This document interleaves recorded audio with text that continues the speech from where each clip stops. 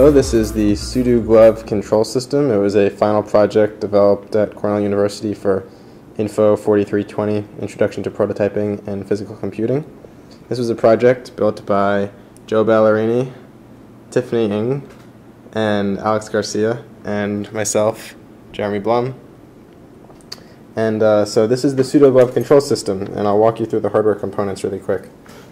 First we have the car that we're controlling, so it's just a standard RC car that we've outfitted with some electronics. Uh, we're using an Arduino Mini Pro as the controller on here. It's connected to an XBee, which communicates to the glove, an H-bridge motor controller, which uh, controls the two motors on the car, and a Somo audio system that plays back audio files, their speaker that we have mounted in the roof. There's also two headlights that we installed into the car, and some siren lights on top of the car, which you'll see later. Additionally, we have the actual control module. So this is a holster that you wear on your belt, and it contains an Arduino Mega, a prototyping shield, and an XBee shield, and it runs code that interprets information that we receive from this glove that we've put together. So the glove has a number of sensors on it, a flex sensor on the index finger, two force sensors, a vibration sensor, and a 2D gyroscope. And we interpret the signals from those and use them to control various functions of the car, such as acceleration, turning, reverse, the lights, and the sound. Now we're going to demonstrate each of the functions that the glove can perform to control the car. So first we'll turn the car on.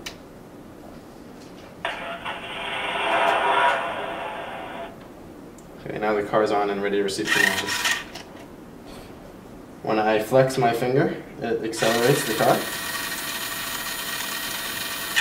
Release, it slows down. And that's a um, analog movement, so it goes faster as I flex my finger more.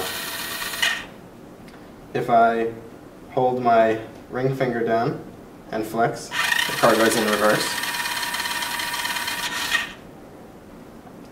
If I press on my pinky, I can activate first the headlights, then the sirens, and if I press harder, the siren sounds as well. Uh, by clapping my finger to the vibration sensor, I can activate the horn on the car. And by rotating my arm, I can turn the wheels. And you can see those turning. And uh, that's all the basic functionality. This is a demonstration of our gloves turning system for controlling the car. We use a two-dimensional gyroscope and gather acceleration data from it, and then using the Arduino Mega, we integrate that data over a time period to determine the approximate position of the glove in 3D space. The LEDs illuminate to help show the user which location the glove believes it is in.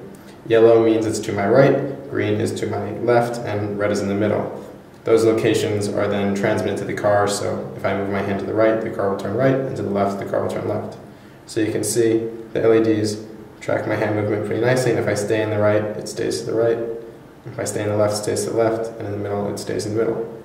And so that can be used to control the car's turn. Now we're going to show you the Sudo Glove actually controlling the car driving around. I'll start by turning on the control unit. The glove boots up and notifies me that it's automatically calibrating the gyroscopes, which takes about three seconds. And then it's ready to go.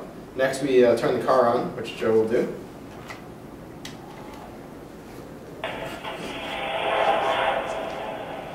So once the car is ready to receive commands, it makes that noise, and then I can start driving around. So I'll flex my finger to drive forward. You see it goes pretty fast. And I will back it up.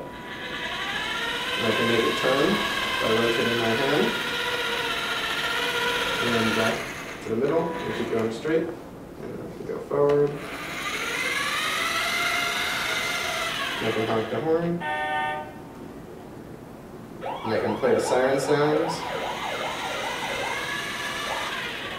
I can park it under the couch.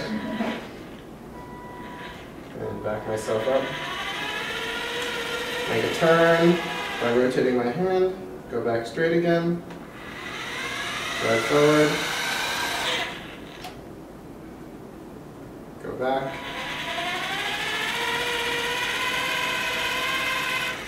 straighten out, go forward, There's some sirens.